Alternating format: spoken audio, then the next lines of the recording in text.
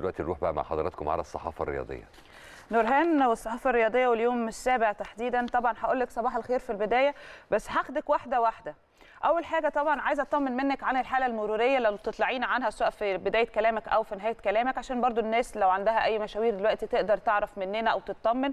الحاجة الثانية حالة الطقس طبعا إحنا عرضناه بس برضو كده الأجواء في الشارع مختلفة شوية. هل في يعني حر شديد ولا الموضوع بنتكلم في 35 ده معتدل؟ الحاجة الثالثه بقى اللي عايزة أتناقش معاكي فيها تحديدا وأنا عارفة إن ده آخر خبر معاكي بس مهم جدا إن إحنا من اليوم السابع والميركاتو اللي شاغل بال ناس دلوقتي كلها مع عشاق الكرة أو كرة القدم العالمية كمان. نتكلم عن آخر أسواق أو أخبار السوق الانتقالات الصيفية في أوروبا وفي كذا نجم كمان أكيد حابين نعرف منك يعني الوضع أو المستقبل بيحمل ليه إيه. كان آخرهم أكيد محمد صلاح. خلينا نروح معاكي يا نورهان اتفضلي.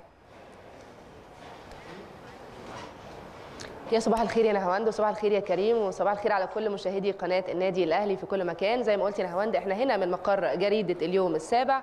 نطلع لكم على أبرز وأهم الأخبار الرياضية الصادرة صباح اليوم. آه يمكن طبعا لو بنتكلم عن الحلقة المرورية أنا يعني طبعا لأنه أنا بتحرك من بدري جدا فيعني في الصباح الباكر كان آه الحاله المرورية جيدة على الطريق الدائري تحديدا. بعد طبعا حال التوسع والإصلاحات آه اللي إحنا بنشوفها في ال ال الأشهر الماضية. الماضيه آه كمان خلينا نقول إنه درجة الحرارة برضو آه إلى حد كبير آه يعني معتدلة بالنسبة للأجواء الصيفية حتى الآن. لكن طبعا من المتوقع إنه الجو يحرر أكتر في الساعات المقبلة. وخلينا نروح بقى لأخبارنا. وأول خبر معانا من موقع يلا كورة وسوارش عاشر من يفوز ماذا فعل مدربو الأهلي الأجانب في ضربة البداية. التقرير ده يمكن يلا كورة ذكر فيه 10 مدربين للنادي الأهلي في القرن يعني القرن الجاري قال إنه إنه إنه إنه سوارش هو المدرب العاشر اللي حقق الفوز في ضربة البداية مع الفريق. ويمكن ذكر بالعدد السنين المدربين اللي حققوا الفوز. وكان طبعا في بدايتهم هانز ديكسي عام 2000 و2001 فاز على الترسانه بست أهداف دون رد. كمان البرتغالي الساحر مانويل جوزيه في ولايته الأولى من 2001 طبعا ل 2002 فاز على بيترو اتلتيكو بثلاث أهداف. مقابل هدف في دوري أبطال أفريقيا. كمان خلينا نقول لكم ان توني أوليفيرا البرتغالي في عام 2003 فاز على الزمالك بثلاث أهداف مقابل هدف في كأس السوبر طبعا المصري. الإسباني خوان كارلوس جاريدو في 2004 وطبعا اللي تولى قيادة الفريق في عام 2004 زي ما قلنا لكم فاز على الرجاء المطروحي بهدف دون رد في مسابقة الدوري. البرتغالي جوزيه بيسيرو في عام 2015 فاز على طلائع الجيش بهدف دون رد. آه كمان الهولندي مارتن يول في 2016 فاز على بتروجيت بهدفين في مسابقة الدوري. أما بقى الفرنسي باتريس كارتيرون في عام 2018 فاز على تاونشيب في دوري أبطال أفريقيا بثلاث أهداف دون رد في ضربة البداية. السويسري ريني فايلر في عام 2019 فاز على كانو سبورت الغيني بهدفين دون رد في دوري أبطال أفريقيا. وأخيرا الجنوب إفريقي بيتسو موسيماني في في عام 2020 فاز على المقاولون العرب في ضربة البداية له بهدف دون رد في مسابقة الدوري العام. تاني خبر معانا بقى والسؤال الشاغل اللي بيشغل يعني يمكن ناس كتير في الشارع الرياضي المصري ومدرب منتخب مصر من يكون في الجول يعني في تصريحات خاصة أو تصريحات من مصادر مطلعة من داخل اتحاد الكرة.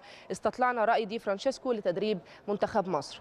ذكر يعني مصدر مطلع من داخل اتحاد الكرة المصري في الجول عن حدوث اتصال بين الاتحاد المصري والإيطالي دي فرانشيسكو. مدرب روما الأسبق لتولي تدريب منتخب مصر ويمكن المصدر أكد إنه في الأيام المقبلة اقترب الإعلان عن المدير الفني وإن هم بيعملوا على قدم وساق لطبعا تحقيق الاستقرار لمنتخب مصر الأول.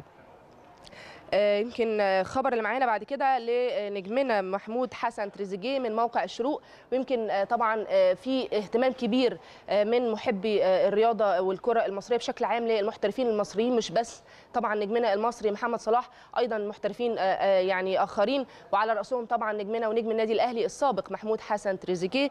والشروق يمكن ذكرت في تقريرها إنه بعض الأرقام عن اللاعب قبل انتقاله رسميا إلى نادي طرابزون التركي. و ويعني يمكن قالت إنه اللاعب بات على مقربة ساعات آه، قليلة وتفصلنا عن الإعلان الرسمي لانضمام اللاعب لنادي آه، طرابزون التركي. وكمان خلينا نقول إن الصحفي آه، فابريزيو آه، رومانو ده يمكن من الصحفيين آه، الصحافة بشكل عام آه، سواء كانت العربية أو الأجنبية بتهتم بكل التغريدات اللي بي- بيكتبها عبر حسابه الشخصي آه، في تويتر لأنه خبير لسوق الانتقالات ال- آه، يعني آه، للاعبين والميركاتو بشكل عام قال إنه تريزيجيه سيغادر أستون فيلا بشكل رسمي والليلة سيحضر إلى طرابزون لإجراء الفحص الطبي وإعلان التعاقد.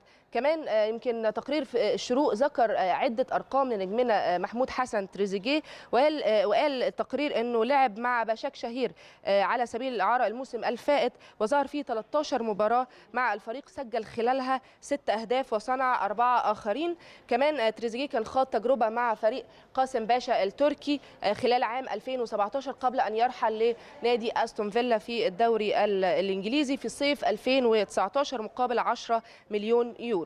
الخبر الأخير بقى معانا يا هواند واللي انت اتكلمتي عنه والميركاتو واهتمام آه، يعني جمهور الكرة بشكل عام آه، مين رايح فين واللعيبة وسوق الانتقالات وبورصة الانتقالات. ومن اليوم السابع آه، آه، يعني يمكن آه، يعني عاملين تقرير مفصل عن أبرز وأهم الميركاتو ال- آه، يعني أخبار الميركاتو الصيفي الحالية.